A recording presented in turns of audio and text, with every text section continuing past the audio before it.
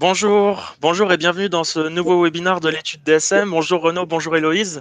Est-ce que vous nous entendez bien? Vous pouvez mettre peut-être un petit message dans le chat pour être sûr que tout va bien. Bonjour, oui, parfait, super. On va, on va pouvoir démarrer alors euh, ce webinaire donc sur les nouvelles clauses contractuelles type. 30 minutes pour comprendre les transferts de données vers les pays tiers.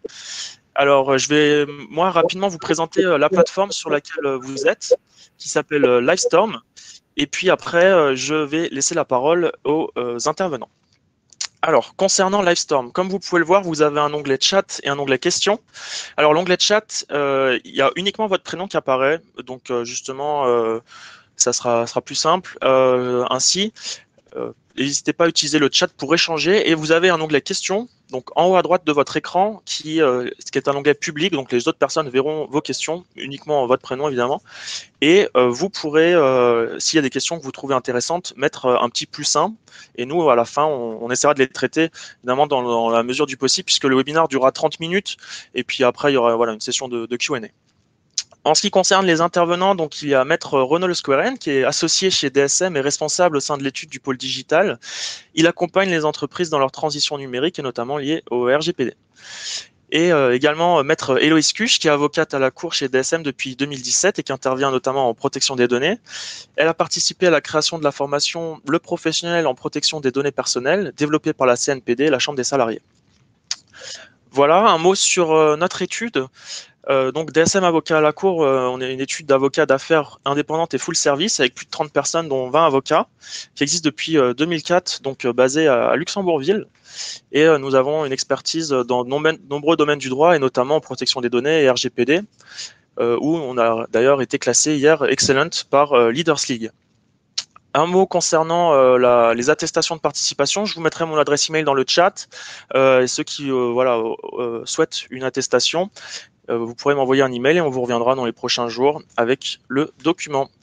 Voilà, je laisse la parole à Renaud et je vous souhaite un très bon webinaire. Bonjour à tous. Euh, bah, tout d'abord, un grand merci euh, pour votre participation. On est très nombreux aujourd'hui. Euh, ce, qui est, chouette, c'est de voir la variété des gens qui se sont connectés. On a beaucoup de, de confrères, confrères et consoeurs qu'on salue. Euh, comme, le disait, comme le disait Maxime, bah, on participe à la formation continue de, des avocats. Donc, on est ravis que, des avocats d'autres cabinets s'intéressent à cette matière et, participent à, ce, à, ce, à, ces formations. On a également des gens dans tout type de, de, secteur d'activité. Donc, euh, c'est vraiment chouette pour l'émulation de la protection des données à Luxembourg. Alors, le, le sujet aujourd'hui euh, qu'on traite, ce sont les nouvelles clauses contractuelles type. Alors, c'est un sujet qui, euh, en fait, est assez ancien, puisque les premières, euh, maintenant, on, on, on date de 2000, 2001. Euh, les nouvelles viennent d'entrer en vigueur il y, a, il y a seulement quelques jours. L'idée de cette présentation, c'est de voir un peu le contexte dans lequel s'inscrivent ces clauses contractuelles type, puisqu'évidemment, aujourd'hui, il faut les lire avec l'arrêt Schrems 2 qui a, qui a été rendu qui a été rendu l'année dernière et qui euh, met à mal euh, les, habitudes qui avaient été prises en matière de transfert vers des pays tiers et notamment vers, euh, vers les États-Unis. Donc ces nouvelles clauses contractuelles euh, ont un mécanisme légèrement différent de, de, ce qui existait avant. Donc on va essayer de présenter d'abord dans quel contexte il faut les utiliser, ensuite comment va s'effectuer la transition entre les anciennes clauses contractuelles et les nouvelles clauses contractuelles, et enfin on va présenter de manière relativement succincte, parce que le, format de, cette présentation est un format volontairement court, mais on va euh, présenter euh, de manière assez succincte le fonctionnement avec les différents modules, puisque la nouveauté de ces nouvelles clauses contractuelles type, c'est qu'elles fonctionnent par module en fonction des situations et du type de transfert que l'on va euh, réaliser. Donc, je vais laisser la parole à Héloïse pour rappeler le, le cadre général dans lequel doivent s'inscrire l'utilisation de ces clauses. Bonjour à tous, euh, on est ra ravis de vous retrouver aujourd'hui. Alors on va reprendre un petit peu les, définitions au préalable pour être sûr qu'on soit tous sur la même longueur d'onde. Pour ceux qui n'avaient pas suivi notre premier webinaire qu'on avait fait sur les transferts de données vers les pays tiers. Donc la première définition qui est importante, c'est évidemment celle d'un transfert de données à caractère personnel. C'est toute communication, copie ou déplacement de données personnelles ayant vocation à être traitée dans un pays tiers à l'Union européenne. Et là, euh, on précise donc pays tiers à l'Union européenne, mais aussi à l'espace économique européen, puisque le RGPD est aussi directement applicable en Norvège, Liechtenstein et en Islande. Cette définition de transfert, elle est importante parce que certains ont essayé de jouer avec pour exclure l'application du RGPD de transfert de données qui faisaient vers des pays tiers. Euh, mais les définitions de données personnelles et de transfert sont tellement larges euh, que, ce n'est pas une bonne hypothèse à envisager. Donc la définition de données personnelles, euh, vous le savez, c'est toute information qui se rapporte à une personne physique identifiée ou identifiable, qu'elle soit identifiable directement ou indirectement. Donc même si vous avez des données euh, avec lesquelles vous êtes incapable d'identifier une personne physique, à partir du moment où quelqu'un d'autre serait capable de le faire, par exemple les institutions policières, ça reste des données à caractère personnel. Par exemple, la plaque d'immatriculation, si vous l'avez, en règle générale, vous êtes incapable de dire à quelle personne elle appartient, mais ça reste une donnée à caractère personnel parce qu'elle permettrait d'identifier euh, quelqu'un. Pareil pour la définition de traitement, qui est très très large euh, et qui va en fait de la collecte des données jusqu'à leur destruction, en passant euh, par leur archivage, par exemple. Et cette définition-là, elle est importante parce que quand vous faites des transferts de données à caractère personnel, dire que vous transférez des données qui ne seront pas traitées dans l'autre pays, en fait, c'est un non-sens parce que le simple fait de transférer des données, le simple fait de donner un accès, par exemple, à une base de données existante à Luxembourg à des personnes qui sont situées dans des pays tiers, c'est considéré comme un transfert de données à caractère personnel. Les deux autres définitions qui sont importantes pour la formation d'aujourd'hui, c'est celle d'exportateur et d'importateur de données. C'est les notions qui sont utilisées à l'intérieur des clauses contractuelles type. On parle toujours des responsables du traitement, des sous-traitants, mais ici, la notion, c'est vraiment qui est à l'initiative du transfert. Donc, l'exportateur de données, c'est la personne qui va transférer les données vers un pays tiers. Ça peut être des personnes morales euh, comme des sociétés, mais aussi des autorités publiques. Et l'importateur de données, ben c'est la personne qui va recevoir ces données à caractère personnel. L'autre point important pour vous resituer sur l'utilisation des clauses contractuelles type, c'est de comprendre euh, dans, quelle mesure vous pouvez transférer des données vers un pays tiers. Et ici, c'est assez simple parce qu'il suffit de raisonner par zone. la première zone que vous avez, c'est l'espace économique européen. Je vous en ai parlé juste avant. Ici, il n'y a aucun problème. Les transferts sont libres. La zone euh, que vous avez ensuite au-dessus, euh, c'est les pays qui sont couverts par une décision d'adéquation. Là, pareil, on ne se pose pas de questions, on peut transférer les données à caractère personnel vers ces autres pays. Euh, vous avez la liste des pays d'adéquation qui va s'afficher dans le chat pour pouvoir les consulter. les pays qui sont visés aujourd'hui s'affichent à l'écran. Ça fait quelques jours qu'on a le Royaume-Uni qui vient d'être couvert par une décision d'adéquation suite au Brexit. Pour les États-Unis, comme vous le savez, euh, le Privacy Shield a été annulé suite à l'arrêt Schrems 2. Et ensuite, autour, la dernière zone, euh, bah, c'est tous les autres pays pour lesquels vous allez devoir mettre en place des mesures particulières euh, ou voir si vous pouvez couvrir vos transferts sur base des dérogations. Vous avez trois articles du RGPD qui vous intéressent ici. L'article 46, qui vise un certain nombre de garanties appropriées, dont les clauses contractuelles type qui nous intéressent aujourd'hui l'article 47 qui traite des règles d'entreprise contraignantes, et enfin l'article 49 qui traite ici des dérogations, donc qui sont vraiment réservées euh, à des situations exceptionnelles. Euh, par exemple, euh, si vous travaillez dans le domaine bancaire et si vous envoyez à une banque des données à caractère personnel, mais qui concernent des clients différents, peu importe, vous ne pouvez pas asseoir ce traitement-là sur base des dérogations parce que comme votre contrepartie est toujours la même, euh, on considère que c'est un transfert de données qui est répété.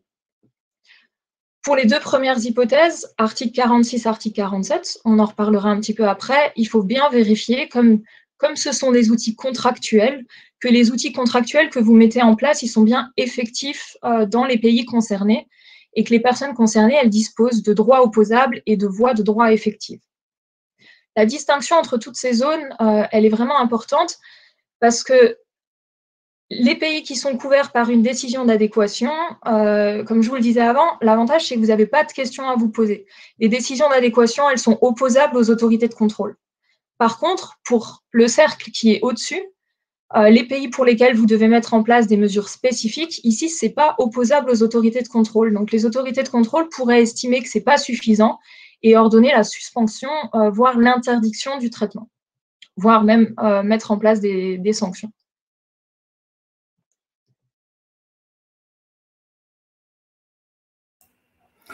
Alors, pour entrer dans le, vif du sujet, les nouvelles clauses contractuelles type ont été publiées le 7 juin. Elles entrent en vigueur le 20e jour après leur publication. Donc, euh, ça entrera en vigueur le, c'est entré en vigueur, le 27 juin 2021. Euh, euh, ces clauses contractuelles type viennent remplacer deux jeux de clauses contractuelles qui préexistaient. Les premières qui visaient les contrôleurs vers les contrôleurs, donc un responsable du traitement vers un responsable du traitement, euh, ces clauses dataient de 2001, elles avaient été modifiées une fois en 2004. Et ensuite, euh, le deuxième set de clauses euh, contractuelles type qui existait et qui date de 2010 et qui visait cette fois-ci les transferts du responsable vers le, vers le sous-traitant, qui lui est situé à, l'extérieur du, de, la zone de protection dont vient de parler Héloïse. ce qui était un un gap jusqu'à présent, il y avait un certain nombre de transferts qui n'étaient pas couverts par ces, clauses contractuelles type. Alors la pratique avait mis en place, je, pense par exemple sous-traitant, sous-traitant, la pratique avait mis en place des, succès d'année, des sortes de, alors, on, devait en principe essayer d'avoir des, clauses contractuelles type qui étaient directement signées avec les sous-traitants, ou alors on, donnait des mandats. Enfin, il y avait un certain nombre de choses qui étaient possibles, mais disons qu'on n'était pas sur quelque chose de très clair. Aujourd'hui, bah, une des réponses et une des, choses très intéressantes qu'apportent les nouvelles clauses contractuelles type, c'est que justement, ça couvre beaucoup plus d'hypothèses qu'auparavant. Donc la question maintenant est de savoir comment on va euh, articuler le transfert, la, période de transition entre les anciennes et les nouvelles. Bah, c'est assez simple, hein, c'est prévu dans, dans, la décision euh, qui a été adoptée. Les anciennes euh, ne peuvent plus être utilisées à partir du 27 septembre 2021, c'est-à-dire que jusqu'à cette date, il est encore possible de signer des contrats et de mettre en annexe, ou de ne signer d'ailleurs que ces contrats dans, la forme des anciennes clauses contractuelles type. Euh, à partir du 28 septembre, ce ne sera plus possible, il faudra obligatoirement utiliser euh, les nouvelles. Et ensuite, le deuxième point de la phase de transition, qu'en est-il de celles qui ont déjà été signées? Eh bien, elles resteront valables jusqu'au 27 décembre 2022. Alors, cette euh, période de transition s'inscrit dans la ligne classique, je dirais, de, du, du, RGPD qui consiste à imposer une revue, une remise à niveau périodique de ce qui a été décidé.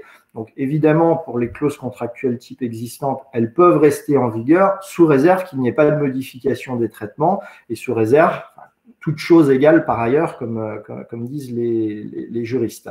Donc, euh, bien entendu, euh, il appartient à tous les professionnels, dans le cadre d'un mapping qui, je pense, la plupart du temps a déjà été fait, bien que l'arrêt Schrems 2 ait amené pas mal de modifications en termes de mapping, parce qu'il y a pas mal de gens qui avaient une idée relativement précise des traitements, mais pas nécessairement des outils qui étaient en place, ou en tout cas pas, pas, forcément capables de trouver ces outils très rapidement dans le système. Euh, donc, euh, il faut être capable de déterminer euh, de manière très précise quel traitement est réalisé ou quel transfert est réalisé avec quel outil. Et s'il s'agit de clauses contractuelles type, il va falloir être capable de déterminer si oui, ce sont des anciennes clauses ou si oui, ce sont des nouvelles clauses et le cas échéant, refaire signer de, nouvelles clauses. Alors, la grande nouveauté que j'ai déjà évoquée, c'est que le fonctionnement de ces nouvelles clauses contractuelles type se fait par module.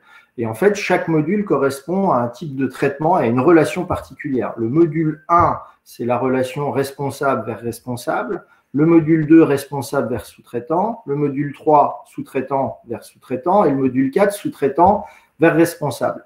Alors, euh, ce qui est intéressant dans cette démarche, c'est pas quelque chose qu'on voit souvent dans les textes euh, juridiques, c'est qu'on a rédigé, la commission a rédigé un document unique avec certaines clauses qui sont communes et certaines clauses qui ne le sont pas. On verra ça dans, dans, un instant. Alors, sur ces nouvelles clauses contractuelles type, première question, est-ce que les signataires peuvent les modifier?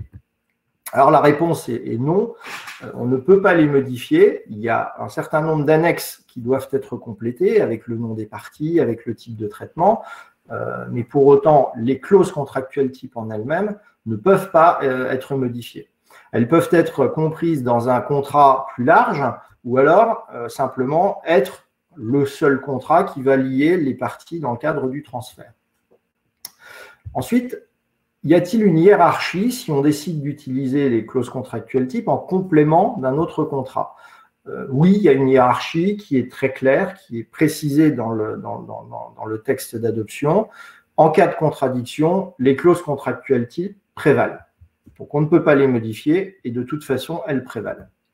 Alors, une nouveauté qui est intéressante, c'est le caractère d'opposabilité euh, au tiers. D'utilisation possible par les tiers. Alors, la, résolution parle de tiers bénéficiaires, et donc ces tiers bénéficiaires peuvent invoquer et faire appliquer les clauses contractuelles type, donc pas toutes, un certain nombre qui sont listées, euh, ou plutôt dans la, clause 3, il y a un certain nombre de clauses qui sont exclues de cet effet. Donc ça, c'est quelque chose juridiquement très intéressant. Alors c'est un peu de la technique juridique, euh, mais c'est intéressant parce que ça remet en cause le principe d'opposabilité des contrats. La règle traditionnelle, euh, grand principe général du droit est de dire que les contrats ne sont opposables que euh, entre ceux qui les ont signés.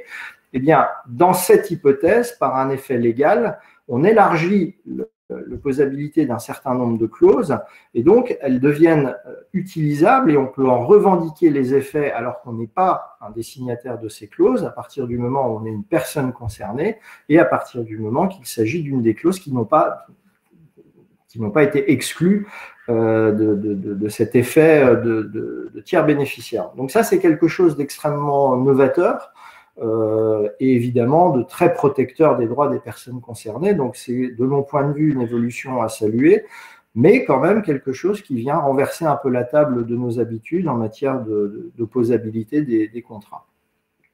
Une autre nouveauté extrêmement intéressante, c'est la possibilité d'adhérer.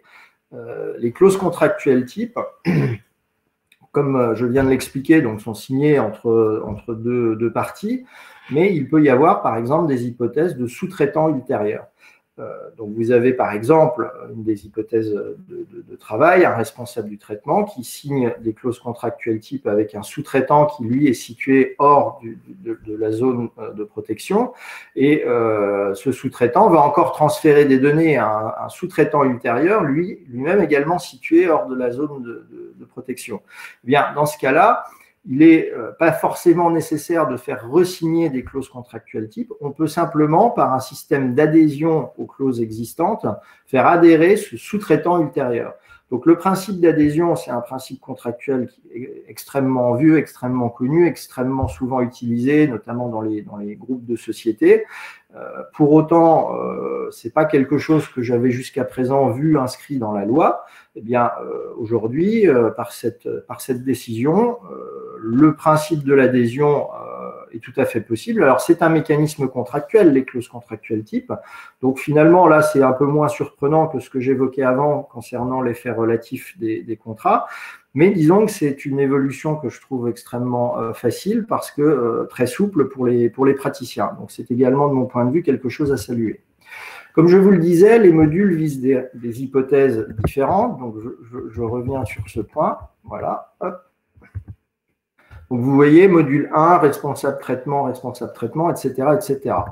Et donc, ce que nous voyons ici, ce sont les clauses qui sont applicables à l'ensemble des modules ou les clauses qui sont applicables à certains des modules. Alors, euh, ce tableau est intéressant, mais il n'y a pas beaucoup de, sens. Je vous explique comment il fonctionne. Simplement, les clauses 1 à 7 et la clause 16 sont applicables à tous les modules. Les clauses 8 et les clauses 10 avec un certain nombre de clauses qui sont différentes selon les modules, sont applicables en fonction du type de, relation, etc., etc. Et c'est là, euh, si vous voulez, une, véritable grande euh, évolution euh, qu'apportent ces nouvelles clauses contractuelles type. Et en fait, même si de prime abord, la lecture de ces clauses contractuelles type peut être un peu surprenante, une fois qu'on a compris ce mécanisme, finalement, c'est très simple à lire et c'est relativement simple à utiliser également.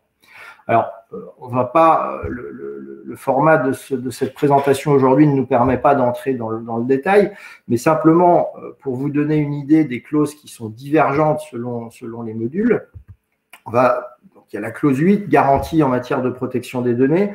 Et là, en fonction du type de relation, évidemment, les garanties ne sont pas les mêmes. Si on est responsable, responsable, eh bien, on n'a euh, pas du tout les mêmes obligations que si on est responsable vis-à-vis du sous-traitant. Le sous-traitant doit euh, lui agir sur instruction euh, du, responsable, ce qui ne sera pas le cas dans une relation responsable-responsable.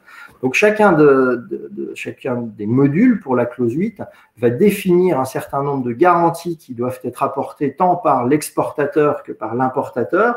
Alors, euh, en termes de limitation des finalités, en termes de transparence, en termes d'exactitude et de minimisation des données, limitation de la conservation, sécurité du traitement, données sensibles, transfert ultérieur, traitement effectué sous l'autorité de l'importateur de données et documentation et conformité.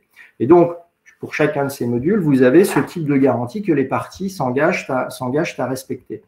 Ensuite, la clause 9 vise le recours à des sous-traitants ultérieurs.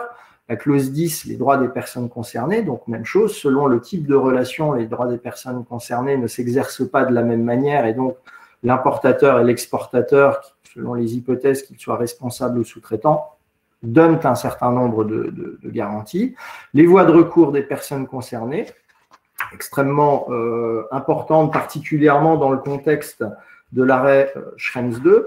Euh, on, va revenir là-dessus, mais l'un des points importants que Schrems 2 nous a appris, ou plutôt que les juges nous ont, souligné, et l'importance de garder à l'esprit que des contrats ne peuvent pas euh, nécessairement aller contre la loi. Et donc, vous pouvez avoir euh, tous les engagements contractuels que vous souhaitez. Si la loi du pays destinataire euh, impose, par exemple, à une entreprise locale de donner accès comme la loi FISA aux États-Unis, de donner accès euh, aux autorités à un certain nombre de données, eh bien, vos, euh, vos contrats, finalement, ne pourront pas aller contre ces, ce, type de choses. Donc, euh, les voies de recours, c'est quelque chose qui est extrêmement important. Ensuite, il y a la responsabilité, l'autorité de contrôle. la clause 14, qui, qui, qui, à mon avis, est très importante, législation et pratiques locales ayant une incidence sur le respect des clauses. Là, euh, c'est quelque chose qui a été introduit directement suite à l'arrêt Schrems 2. Euh, qu'est-ce qu'elle nous dit, cette clause 14 Donc, selon le type de, situation, en fait, cette clause est applicable aux quatre modules.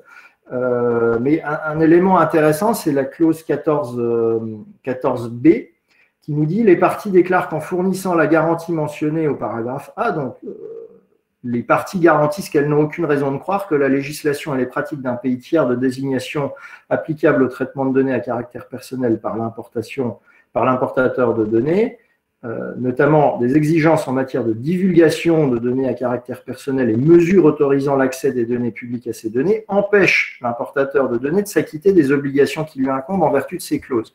Donc, il y a un engagement de dire, moi, à ma connaissance, partie contractante, la législation dans laquelle je m'inscris ne, me force pas à donner euh, les deux, accès à des autorités, mais il y a cet article 14b qui dit en fournissant la garantie du paragraphe A, on doit tenir compte en particulier des législations et pratiques du pays tiers de destination, notamment celles qui exigent la divulgation de données aux autorités publiques ou qui autorisent l'accès de ces dernières données pertinentes au regard des circonstances particulières du transfert, ainsi que des limitations des garanties applicables. Donc c'est l'article 14b petit 2 qui en fait vient euh, on donne la garantie tout d'abord que les autorités n'auront pas accès, et ensuite on dit on doit quand même tenir compte de manière très précise de ce qui existe dans le pays et des droits qu'on connaît. Donc c'est vraiment un article qui a été introduit suite à la Schrems 2.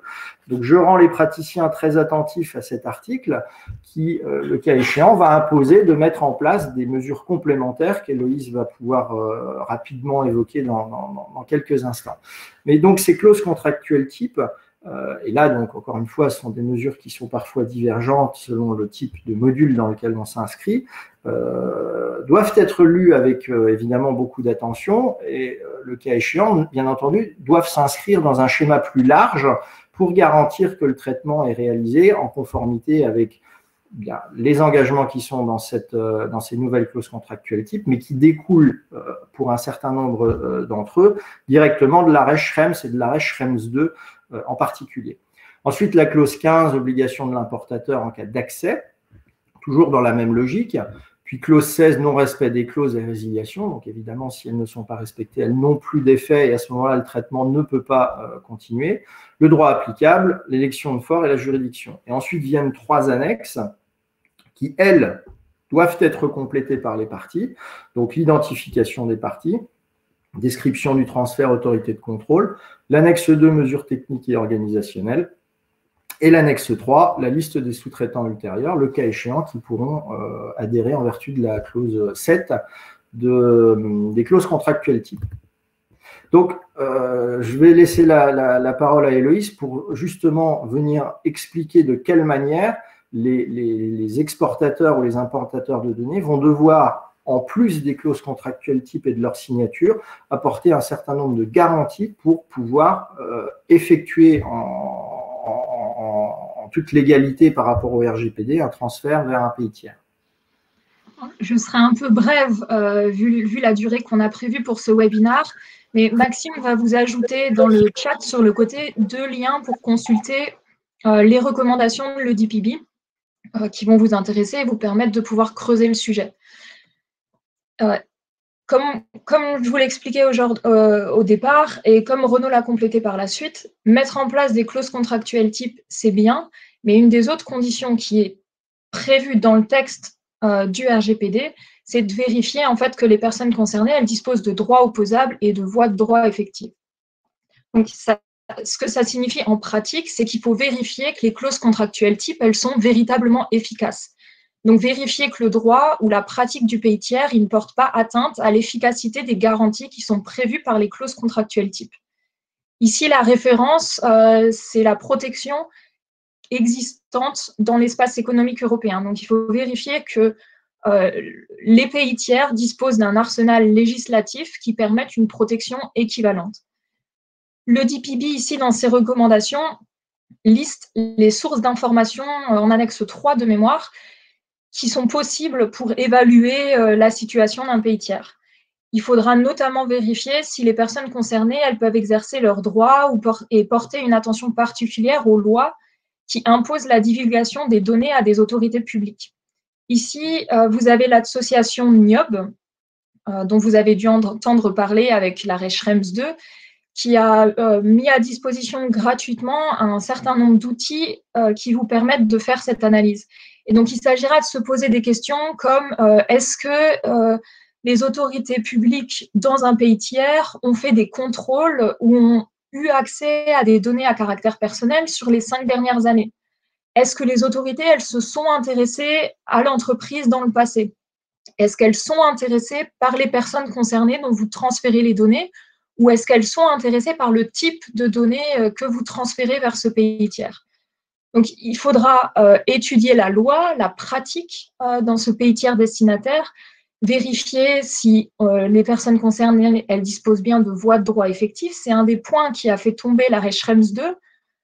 je ne sais pas si vous vous en rappelez, mais avant le Privacy Shield, en fait, on avait déjà un autre mécanisme qui permettait de transférer des données vers les États-Unis, qui était tombé suite au recours qui avait été, engagé par M. Schrems. Ça, c'était l'arrêt Schrems 1 notamment parce que les personnes concernées, elles n'avaient pas de, moyens de faire valoir leurs revendications.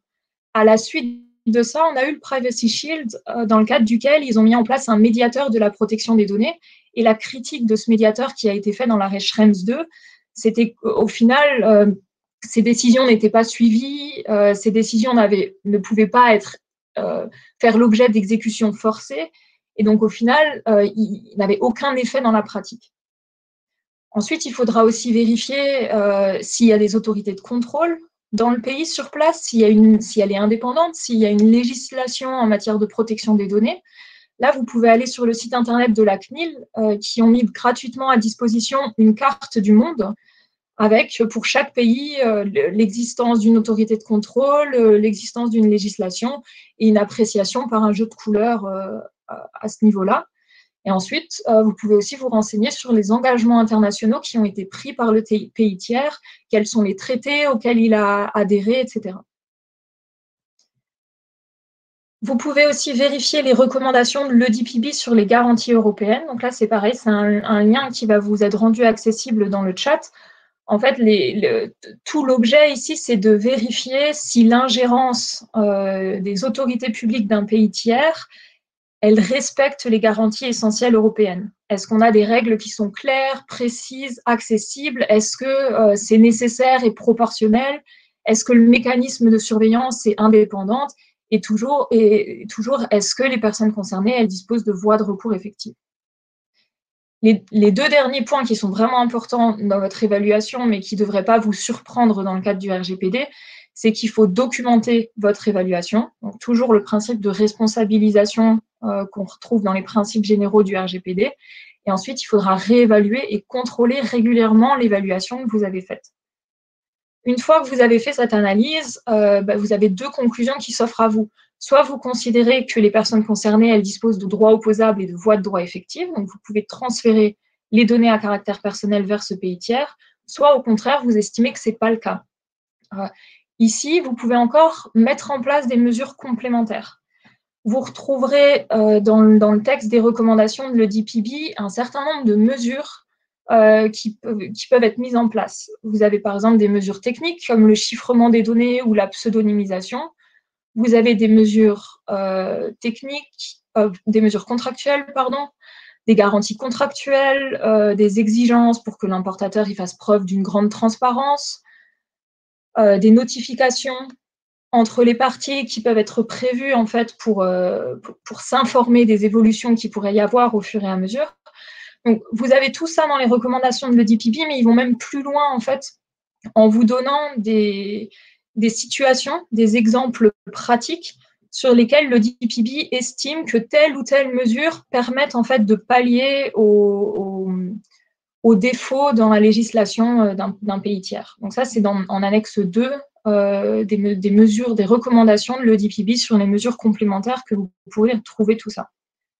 Donc en fait, euh, pour, pour résumer, le schéma que vous devez suivre, c'est d'abord, si vous décidez de mettre en place des clauses contractuelles type, vérifier le niveau de protection qui est garanti dans le pays tiers, et ensuite, si vous estimez qu'il est insuffisant, voir si vous pouvez mettre en place des mesures complémentaires, euh, des mesures de sécurité technique, organisationnelle ou contractuelle pour y pallier. Et en fonction de votre conclusion, soit vous pourrez transférer des données à caractère personnel vers ce pays tiers, soit au contraire, vous devez suspendre le traitement, arrêter le traitement euh, en, attente de trouver une autre solution. Donc ça veut dire trouver de nouvelles contreparties, euh, de nouveaux prestataires pour réaliser vos missions. Je te laisse la parole, Renaud, pour la conclusion. Alors, bah écoutez, le, webinaire euh, s'achève. On va prendre quelques questions, mais pour conclure, euh, on espère avoir apporté un peu de, clarté autour de ces nouvelles clauses contractuelles type. Le format, comme on l'a expliqué, est assez nouveau, assez novateur. Il y a un certain nombre de choses, y compris juridiques, qui sont bah, euh, de belles innovations. Euh, la mécanique pour les utiliser n'est pas extrêmement complexe une fois qu'on a compris la logique. Donc c'est quelque chose que la plupart des opérateurs vont pouvoir remplir et, compléter euh, eux-mêmes sans avoir vraiment besoin de l'aide d'un spécialiste pour autant que ce soit des gens déjà formés un minimum sur la, protection des données. Là où les choses sont un peu plus complexes, c'est évidemment ce qu'expliquait euh, dans, la dernière partie Héloïse par rapport euh, aux mesures complémentaires, le cas échéant qu'il va falloir euh, mettre en place pour euh, permettre un transfert en vertu de ces clauses contractuelles type en fonction du pays dans lequel on, s'inscrit. Donc pour cela, il y a des guidances de l'EDPB, mais les guidances finalement sont assez générales, mais voilà, il faut garder à l'esprit qu'il va falloir documenter l'analyse qui a été faite et en fonction du résultat de cette analyse, il va falloir mettre en place des éléments contractuels techniques organisationnels complémentaires pour pouvoir euh, autoriser ce traitement. Et c'est là où, le cas échéant, vous aurez peut-être besoin d'être accompagné soit par des juristes, soit par des techniciens euh, en matière de, cybersécurité. Euh, écoutez, on est euh, ravis d'avoir eu l'opportunité de présenter ce, ce, webinaire. On va prendre quelques questions qui ont été posées. Alors, je vais peut-être commencer. Euh, Céline nous demande, alors je vais les prendre par ordre chronologique. Alors, la présentation, bien entendu, vous pourrez la voir. Pour les certificats, il faudra vous adresser, adresser un email à, à Maxime. Alors, Compte tenu de la définition d'un transfert que vous proposez en introduction, alors ce n'est pas nous qui la proposons, hein, la définition c'est celle du RGPD, doit-on considérer qu'un accès distant depuis un pays tiers à des, euh, données euh, personnelles est un transfert? Absolument. Euh, l'accès, c'était quelque chose il y a une dizaine d'années qui, qui, était discuté. je sais qu'il y avait certaines autorités en Europe qui considéraient qu'un simple, simple, accès n'était pas, pas équivalent à un transfert. Aujourd'hui, la question est clarifiée, c'est un transfert. Si un, si un, client utilise la messagerie Gmail pour ses relations clients, cela pose-t-il un problème auprès de la censure du Privacy Shield à la CJE Avant que tu répondes, euh, Renaud, sur ce point, je voulais juste faire un, petit euh, bref euh, aperçu des, des, décisions en cours des autorités de contrôle, en fait, parce que ça peut être intéressant sur ce point-là. Peut-être que vous êtes tombé dessus. on a eu une délibération de l'autorité portugaise, par exemple, euh, qui a ordonné l'arrêt de tous les transferts vers un fournisseur de services situé aux États-Unis, euh, parce qu'ils estimaient que les garanties mises en place n'étaient pas suffisantes. Euh, à l'inverse, en France, on a une ordonnance du Conseil d'État en référé qui a autorisé en fait l'utilisation de Microsoft pour l'hébergement et la concession de, licences de logiciels. le contexte était un petit peu particulier. Déjà, c'est un jugement qui a été rendu dans l'urgence, donc on n'a pas nécessairement tranché sur le fond. Ici, le Conseil d'État avait estimé que le risque ne pouvait pas être écarté, mais on était dans le cadre de la pandémie euh, Covid-19 et donc ici, l'intérêt public a, été considéré comme, comme plus important euh, par rapport à ce transfert de données à caractère personnel. Et après, l'autre chose euh, qui, qui, est importante et que vous devriez tous suivre, c'est qu'en ce moment, il y a une enquête du contrôleur européen de la protection des données sur l'usage des services cloud d'Amazon, Microsoft, AVS et Microsoft Azure, ainsi que l'utilisation de la suite bureautique Microsoft 365. Euh, et l'enquête, en fait, elle s'inscrit dans le cadre de la conformité des institutions européennes à l'arrêt Schrems 2. Donc, ce sera intéressant de, voir aussi quelle, va être la prise de position sur ces, enquêtes.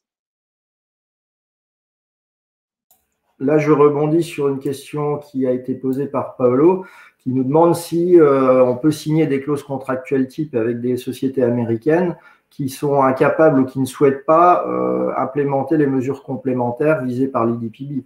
Euh, évidemment, la réponse est que ce n'est pas en principe possible parce que dans les nouvelles clauses contractuelles type, il y a un certain nombre d'engagements de l'importateur et de l'exportateur, de sorte que si ces engagements ne sont pas respectés qu'on est capable de prouver que ces engagements ne sont pas respectés, eh bien, par euh, application de ces règles, elles tombent euh, et, le transfert ne peut plus être autorisé. Donc, il, est effectivement très intéressant d'attendre le résultat de cette enquête.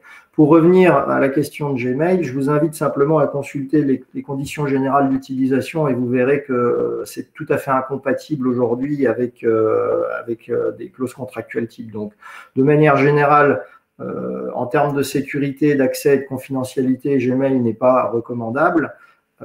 et ensuite, bien, en, termes business, euh, c'est pas non plus quelque chose qu'il faut recommander. Euh, les gens qui utilisent dans leur business des adresses Gmail, c'est évidemment pas quelque chose qui, va donner confiance à leur contrepartie.